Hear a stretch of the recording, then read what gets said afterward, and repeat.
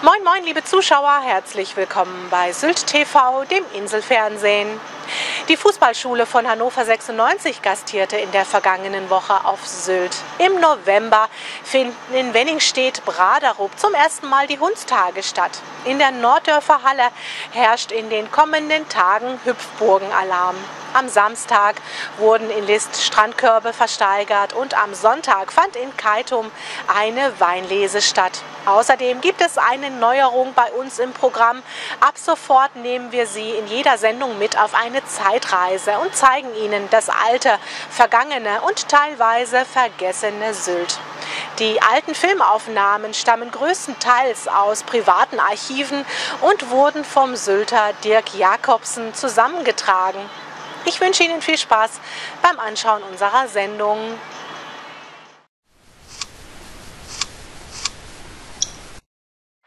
Die Fußballschule von Hannover 96 ist zu Gast im Tinnumer Sportzentrum. 46 Jungs und Mädels, Sylter Kids und Urlauberkinder lernen vom Trainerteam um Jürgen Holletzek, dem Leiter der 96er Fußballschule, den Umgang mit dem runden Leder. Was erleben die äh, Kids äh, in den Tagen der Fußballschule hier auf der Insel? Also fünf Tage hochinteressantes Training.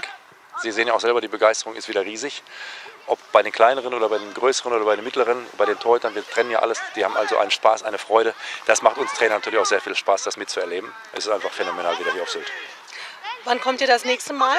Dezember, 27. Dezember bis zum 30. in der Halle, hier in der wunderbaren Sporthalle in Tinnum. Wird auch eine tolle Aktion mit ca. 40 Kindern. Auch da freuen wir uns wieder riesig auf diese Aktion. Die Fußballschule von Hannover 96 kommt seit einigen Jahren regelmäßig auf die Insel in Kooperation mit dem TSV Westerland. Die Trainingstermine werden so gelegt, dass auch Sylter Kinder die Möglichkeit bekommen, an so einem tollen Fußballtraining teilzunehmen. So wie die zehnjährige Anastasia. Die hat ihren Platz im Camp bei Sylt TV gewonnen. So, Anastasia, erzähl mir mal bitte, ähm, wie lange spielst du schon Fußball? Ich spiele jetzt schon seit einem Jahr Fußball. Und äh, macht es dir Spaß, hier mitzuspielen? Wie gefällt es dir hier? Wie gefällt dir das Training? Ja, es gefällt mir hier ganz gut. Die Trainer sind ganz nett und die Mitschüler hier auch. Trainiert wird täglich jeweils von 10 bis 12 und einmal zusätzlich am Nachmittag. Was äh, trainiert ihr in den äh, Tagen hier? Alles mit Ball. Technik, Koordination, ganz viele Bewegungsübungen und vor allem viele Erfolgserlebnisse, dass die Kinder wirklich äh, das mit dem Erfolgserlebnis nach Hause gehen und sagen, ich habe etwas gelernt. Das ist ganz wichtig. Der Ball ist immer im Vordergrund, grundsätzlich. Neben dem Training gibt es für alle Kinder eine komplette Trainingsausrüstung, eine Eintrittskarte für ein 96er Heimspiel, eine Urkunde, eine Siegerehrung mit Getränken und einem Snack, einem großen Abschlussturnier und die Chance an der Teilnahme zum 96er Talenttag. Mitmachen geht ab sechs Jahren, wobei auch Fünfjährige, insofern sie mit einem Ball umgehen können, teilnehmen dürfen. Auch bei diesem Camp hatte ein Fünfjähriger jede Menge Spaß. Teilnahmeplätze fürs Fußballcamp vom 27.12. bis zum 30. Dezember gibt es noch Infos zum Camp und die Anmeldung könnt ihr euch unter der eingeblendeten Homepage anschauen.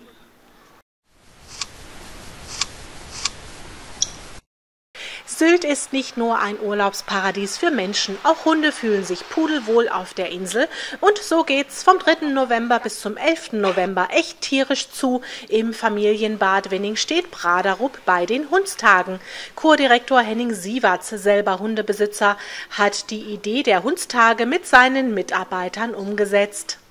Es geht uns eigentlich darum, zum einen, ähm, wir sind ja hier in Wenningstedt, verstehen uns als Familienbad und für viele gehört der Hund halt auch äh, zur Familie, ist ein Familienmitglied. Und zum einen ähm, ist man natürlich mit Hund hier auch willkommen, zum anderen geht es aber auch darum, ähm, das Ganze funktioniert auch nur, wenn entsprechende Regeln eingehalten werden.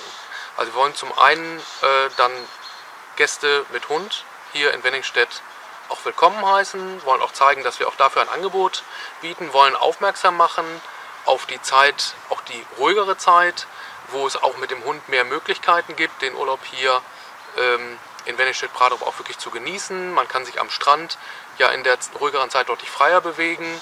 Man kann an alle Strandabschnitte äh, ran. Das ist in der Saison zwangsläufig wegen äh, des höheren Personenaufkommens natürlich schwieriger und auch über die Satzung eingeschränkt. Mm, es geht uns auch darum, zu vermitteln, worauf muss ich denn achten, wenn ich mit Hund hier Urlaub mache, äh, um wirklich für alle Beteiligten, Menschen mit und ohne Hund, auch einen stressfreien Urlaub zu haben. Ähm, sind also wirklich verschiedene äh, Motivationen, ähm, die dazu geführt haben, hier ein solches Angebot äh, speziell für diese Zielgruppe zu machen. Im Rahmen der Hundstage erwartet die Urlauber ein vielseitiges Veranstaltungsprogramm rund um den Hund und besondere Angebote einzelner Vermieter und Gastronomen ja, es ist ein ganz gemischtes Programm. Das heißt, wir haben zum einen viele Vorträge zu aktuellen Themen, also zum Hundeführerschein, der zum Beispiel schon in vielen Bundesländern Pflicht ist. Wir haben Vorträge von Ärzten. Wir werden einen ähm, Erste-Hilfe-Kurs für Hunde anbieten. Wir werden ganz eng mit dem Gebrauchshundesportverein hier auf Sylt zusammenarbeiten. Die machen Übungsbetriebe, zu denen die Gäste mit Hund dann auch herzlich willkommen sind, können da gern äh, dran teilnehmen. Genauso wie es ein Tipps und Tricks zum Hundetraining dort geben wird, wo jeder lernen kann, wie äh, gehe ich mit meinem Hund richtig um, um ihn auch entsprechend zu trainieren. Äh, wir haben auch so Nebenthemen. Wir haben eine ähm, Fotografin eingeladen, Jana Weichelt. Das ist die Tierfotografin von dem Buch ähm, Hunde in Bewegung. Die macht auch an zwei Nachmittagen einen Workshop, wie kann man seinen Hund selber fotografieren. Wir machen ähm, auch Spaziergänge, eine Wattwanderung, wo die Hunde dann ausnahmsweise auch mal in Begleitung dabei sein dürfen. Ausführliche Infos zum Programm gibt es unter wenningstedt.de. Die Karten für die kostenpflichtigen Veranstaltungen gibt es bei den Insularen Vorverkaufsstellen oder unter fibus.de. Für die kostenfreien Veranstaltungen melden Sie sich bitte unter hundstage.wenningstedt.de an.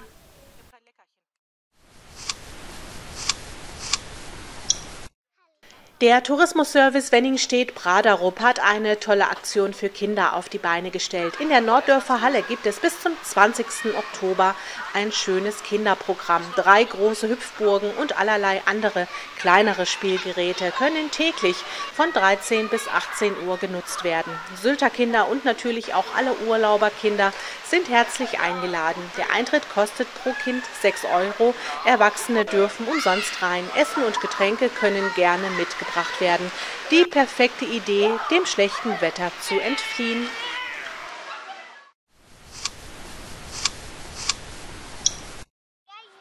Die Lister Kurverwaltung hat am Samstag 40 Strandkörbe aus ihrem aktuellen Bestand versteigert. Die Sylter Originale haben alle viele Jahre am Lister Strand für das richtige Inselfeeling bei den Listurlaubern gesorgt. Im Hafen konnten die Strandkörbe vorab besichtigt werden. Und genau dieses Sylt-Feeling wollen viele mit nach Hause nehmen. Im Zentrum für Naturgewalten fand die offizielle Versteigerung statt und es war richtig voll im Saal. Die 40 Körbe waren heiß begehrt. Auktionator Ali Reza Jazemi führte durch die Auktion. Der Shantychor de Giselauschippers aus Albersdorf sorgte während der Veranstaltung für die richtige maritime Stimmung im Saal und Auktionator Ali Reza Jazemi brauchte oftmals ganz viel Luft. Auch Nichtbieter hatten während der Auktion eine Menge Spaß. Zum ersten, zum zweiten und zum dritten 200, oh, 305 Euro, 305 Euro. Zum ersten, zum zweiten 310 Euro. Zum ersten, zum zweiten 315 Euro. Zum ersten, zum zweiten und zum dritten Zuschlag. Seit vier Jahren wachsen zu Füßen der altehrwürdigen Kirche St. Severin im Ostteil der Insel Weinstöcke heran. Ja, wir sind hier in dem äh, Weinberg im nördlichsten Weindorf Deutschlands, äh, Keitum. Das ist der Weinberg, den wir in 2009 angelegt haben, nachdem das Land Schleswig-Holstein äh, Anbaurechte für das Bundesland vergeben hat. Wir haben uns in 2009 entschlossen, das hier auf ähm, Sylt zu realisieren und haben hier 3000 Quadratmeter Wein angepflanzt, 1625 Rebstöcke. Das ist jetzt vier Jahre her. Vier Jahre danach haben wir zum ersten Mal jetzt die Situation, dass wir eine schöne Ernte einfahren werden. Wir haben hier reife Trauben bei bestem Wetter trafen sich am Sonntag viele Freunde, Wegbegleiter und einige Rebstockpächter am Weinberg, um die erste Weinlese mitzumachen. Für Christian Ress war der Weinanbau auf Sylt eine große Herausforderung. Der Winzer entschied sich für die Rebsorte Solaris, eine Sorte, die gut mit den klimatischen Bedingungen auf Sylt klarkommt. Das Jahr lief nicht optimal, ungünstiges Wetter während der Blütezeit hieß am Ende weniger Ertrag, aber die viele Sonne im Sommer hat die Trauben prima reifen lassen.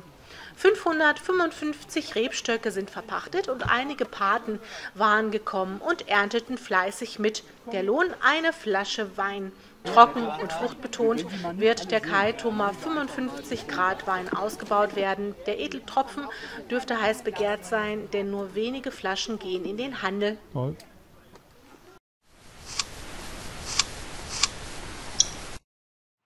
Der folgende Filmbeitrag wird präsentiert von der freundlichen Apartmentvermietung Üshüs von Sabine Jakobsen in Westerland.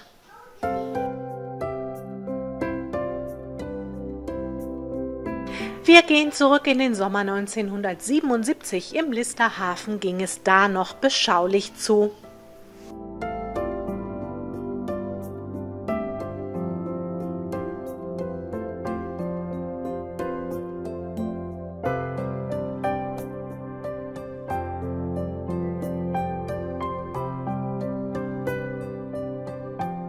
Die alte Syltfähre war da noch unterwegs und brachte die damals noch nicht so zahlreichen Sylturlauber auf die Insel.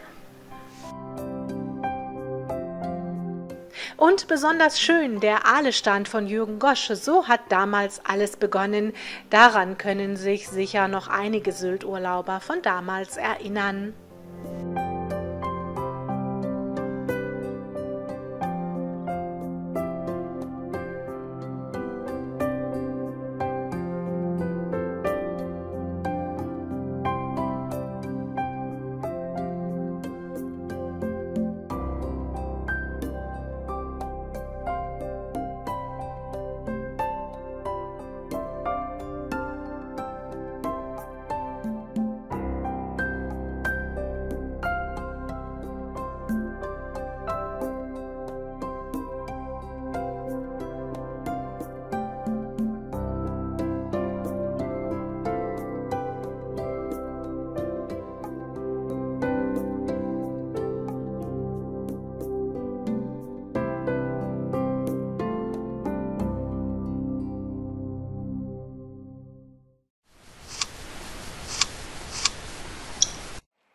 Der groß angelegte Blitzermarathon in Schleswig-Holstein ist am Donnerstag durchgeführt worden. Im Vorfeld hatte die Landespolizei die 500 Kontrollstellen im Land bekannt gegeben. Auch auf Sylt wurde die Geschwindigkeit an zwei Messpunkten in Westerland kontrolliert.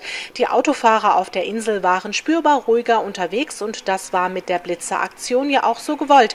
Die Geschwindigkeitsbegrenzungen wurden im großen Maße eingehalten. Bei tödlichen Verkehrsunfällen und Unfällen mit Verletzten ist nach wie vor überhöhte Geschwindigkeit Unfallursache Nummer eins.